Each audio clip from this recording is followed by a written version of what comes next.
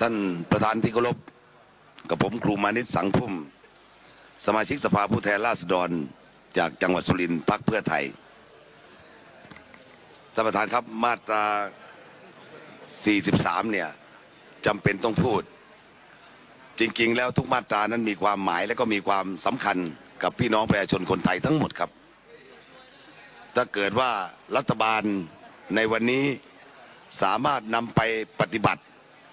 แล้วก็เกิดมรรคเกิดผลนั้น ผมเชื่อแน่ว่าทั้ง 55 มาตราที่มีส่วนเกี่ยวข้องในการพัฒนาประเทศ ในการที่จะเดินหน้าในการดำเนินการนั้น ผมคิดว่าปี 4647 เนี่ยประเทศไทยเนี่ยคงจะเป็นประเทศที่ก้าวล้ำนำหน้าในอาเซียนแน่ครับ ถามว่าทำไมที่ผมอยากพูดมาตรา 43 วันนี้ทั้งๆที่ว่าทุกมาตรานั้นก็มีความจำเป็นเหมือนที่ผมได้กราบเรียน ก็เนื่องจากว่า มาตรานี้นี่เป็นมาตราที่ผมคิดว่าสำคัญเอามากๆในเรื่องหนึ่งของชีวิตของผม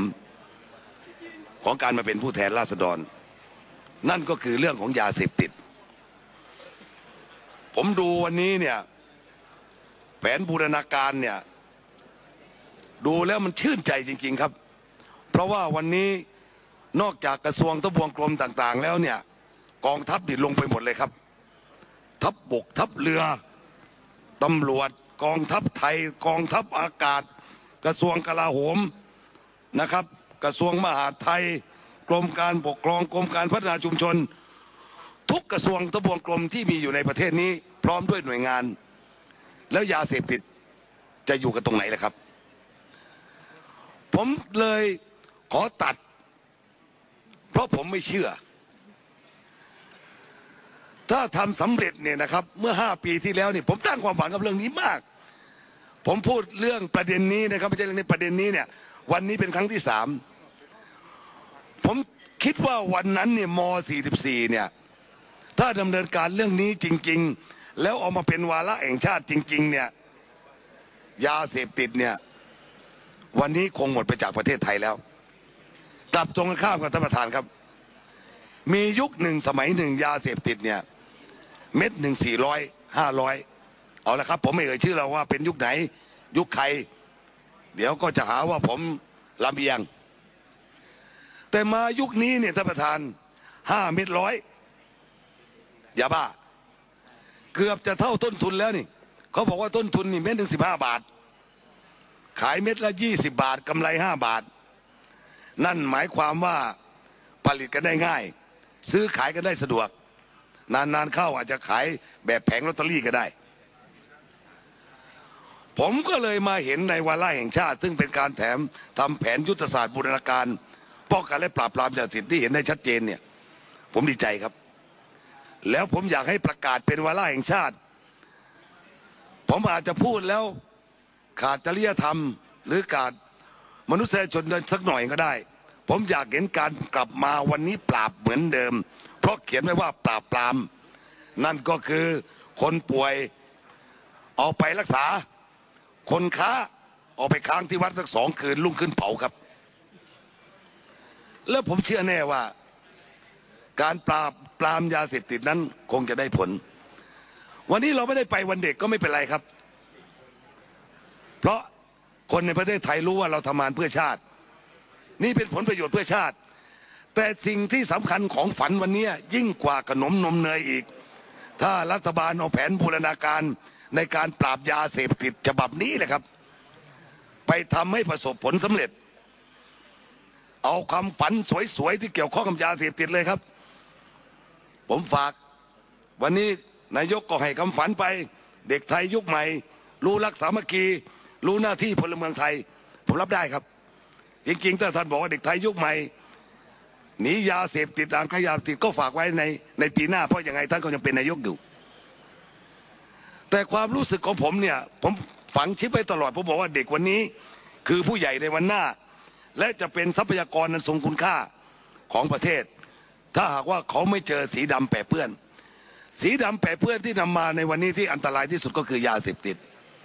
ไปบ้านไหนไปเมืองไหน ทั่วประเทศทุกจังหวัดเลยครับไม่ใช่เฉพาะสุรินทร์บ้านผม ที่ไหนก็มียาเสพติด ท่านประธานครับ ผมเชื่ออยู่สิ่งหนึ่งว่าฝ่ายความมั่นคงเนี่ย แม้แต่เข็มตกด้ามเดียวเนี่ย ยังรู้เลยว่า ตกอยู่บ้านไหนหมู่ไหน บ้านใคร ถ้าตั้งใจ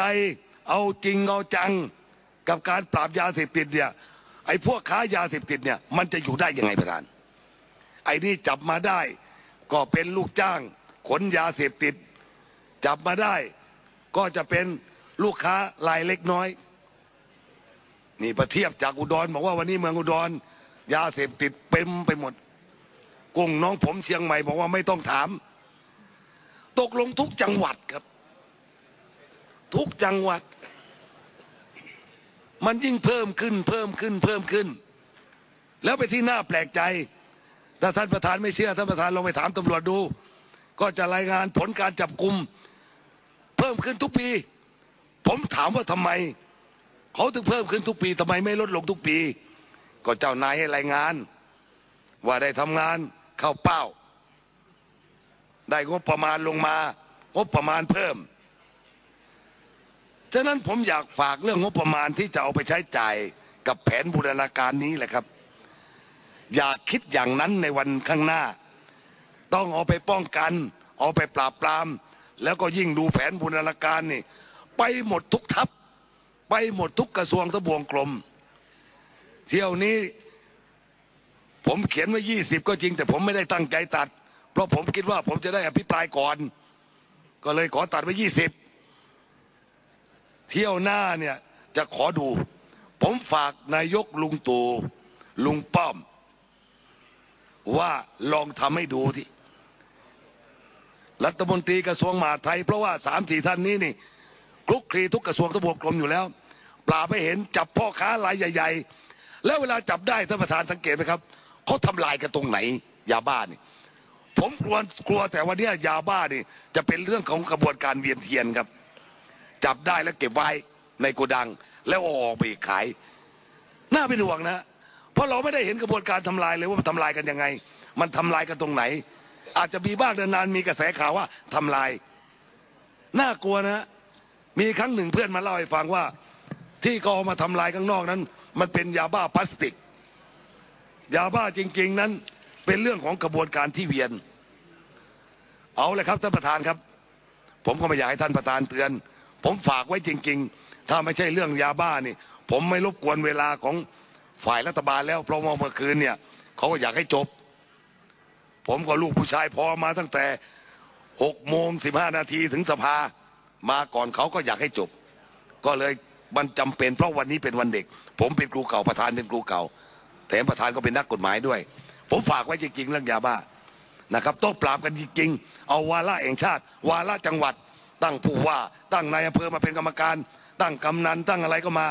แล้วประชุมกันทุกเดือน เอากันจริงจังดูสักทีดิแล้วก็ย้ำ